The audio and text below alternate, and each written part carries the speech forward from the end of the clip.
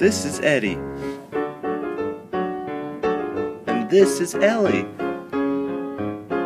Eddie and Ellie are both electrons, which means that they have negative charges. When electrons come together, their negative charges cause them to repel from each other.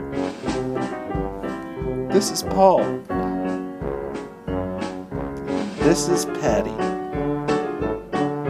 Paul and Patty are both protons, meaning they have positive charges. When protons come together, their positive charges cause them to repel as well. Let's see how electrons and protons interact together. Positively charged Paul and negatively charged Ellie attract because they have opposite charges. In comparison, when negatively charged Eddie and positively charged Patty come together, they attract because they're also electrons and protons.